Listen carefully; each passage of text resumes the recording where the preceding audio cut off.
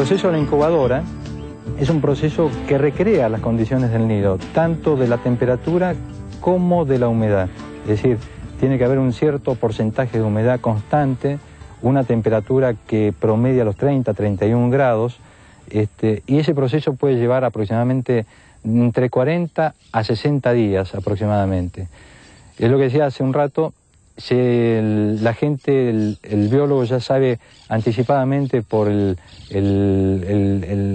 llamado ya del pichoncito que ya hay un nido que está a punto de eclosionar. Y se lo ayuda, se lo ayuda en la eclosión, se rompe la, cáscara, se lo va este, limpiando al, al, pichoncito, se lo marca, se lo ponen unas piletas especiales para que se vaya acostumbrando a un hábitat acuático y este, antes de pasarlo a estas piletas de neonatos. Em, se lo marca en la escuela, con, marcando las estrías correspondientes a esa campaña, y este, bueno, se le aporta este, temperatura y alimentación. Eh, ustedes vieron, este, eso, em, en esta época del año todavía contamos con buena inercia de calor térmico del sol, de la temperatura ambiental. Dentro de unas semanas vamos a tener que empezar a aportarle calor en base a una caldera que genera agua caliente y todos estos recintos tienen un sistema de losa radiante que eso metabólicamente al yacaré lo mantiene activo y, este, y a la vez que está activo demanda más comida, más, este, más dedicación. Lo que se procura es devolver un animal con mayor desarrollo que la naturaleza hubiera logrado.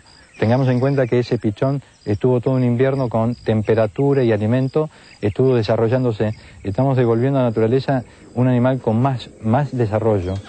Y, este, y el hecho de haber vivido un año en cautiverio no cercena para nada sus aptitudes naturales para sobrevivir. Este, se adapta perfectamente. Es un animal este, que el hecho de haber pasado por las manos del hombre no, no mermó para nada su, su carácter de sobrevivir. Tengamos en cuenta que cuando largamos un yacaré en su hábitat, también coexisten o conviven con él los yacarés naturales. Es muy difícil, el yacaré que estuvo acá no dice acá estoy. Entonces, eh, ya desde la eh, recuperación de ese animal, este, eh, hay una alta cuota de suerte, digamos, ¿no? Hay una alta cuota de suerte. se hacen los procesos que se llaman descensos o avistajes nocturnos en distintos lugares y, este, y muchas veces se ha obtenido, se ha recapturado animales que han salido de acá del emprendimiento y bueno, este, se les toma distintos tipos de parámetros, medidas, este, dimensiones, se lo analiza, si está bien sanitariamente, todo eso. Eh, probablemente lo deseable sea hacerlo más programadamente, probablemente podamos pasar a un escalón superior donde este, expresamente se pueda hacer eso.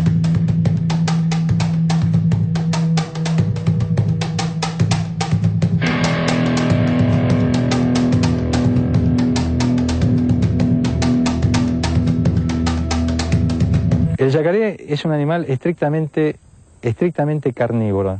Yo le puedo dar los mejores cereales del mundo y no es suficiente, no, no, no sirve de nada.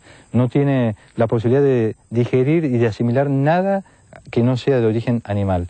Y cuando hablamos estrictamente carnívoro, significa que engulle la presa entera. Es decir, cuando el yacaré en la naturaleza se alimenta, devora un pez entero, una garza entera, un roedor entero con sus escamas, con sus espinas, con sus plumas, con sus huesos, su carne, sus vísceras, su sangre. Todo lo digiere, de todo saca, este, lo, digiere, lo asimila y este, tiene, tiene un poder de digestión excepcional. Entonces, conclusión, no basta con darle acá en cautiverio solamente carne. Yo le puedo dar lomo, el mejor lomo del país, y no es suficiente. Tengo que compensar la, este, las plumas, las escamas, las vísceras, la sangre.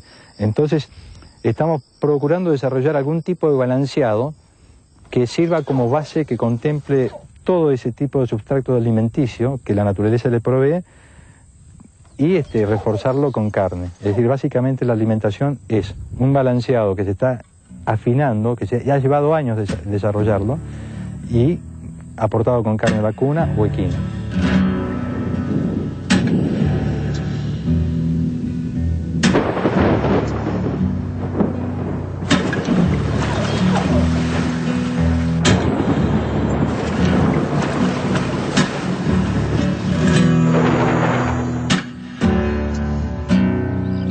El animal que no devolvemos eh, es justamente que proseguimos criando. Es decir, este, ese animal, una vez que nosotros cerramos la devolución de una primera campaña y este, devolvimos exactamente lo que nosotros sacamos, el 20% de lo que nosotros sacamos, lo que nos queda es lo que seguimos criando. El recurso eh, que más se privilegia, es decir, lo que más se valora en el yacaré, como la mayoría de estos reptiles, es el cuero. Este, el cuero tiene alta cotización en la marroquinería este, a nivel internacional. Eh, probablemente acá en nuestro país no es habitual ver gente que use indumentaria, zapatos, botas de, cocodrilo o de yacaré, pero en Europa, en Estados Unidos, es muy, muy requerido. Es un cuero de, altísimo, de altísima valoración.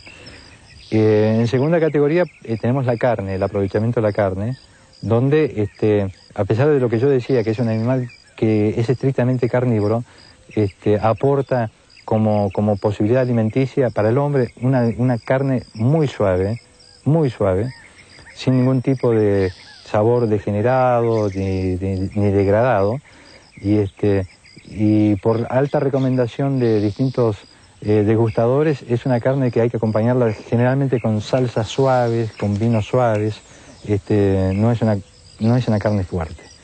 En tercer lugar está el aprovechamiento de la grasa, que tiene una aplicación farmacológica, y después, digamos, lo que puede ser sobrante como las patitas, las manos, las cabezas para hacer distintos tipos de souvenirs.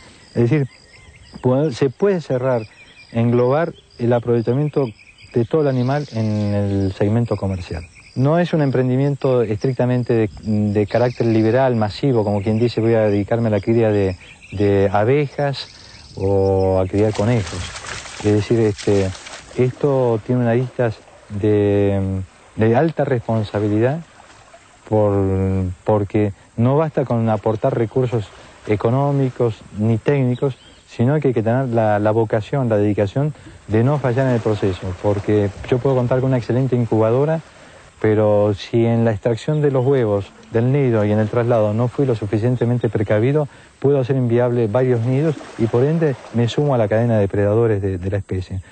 Entonces, no es una actividad este, de difusión masiva para hacer. No obstante, siempre está en el empeño nuestro tratar de integrar la mayor cantidad posible de gente y si el día de mañana acá en la provincia surgiera la posibilidad por parte de alguna asociación de productores, de cooperativas, de empezar a desarrollar, desde ya nuestro conocimiento, nuestra experiencia, la visita al lugar y todo eso es de puertas abiertas, totalmente de puertas abiertas. A la par de toda esta actividad hay todo un manejo burocrático muy grande.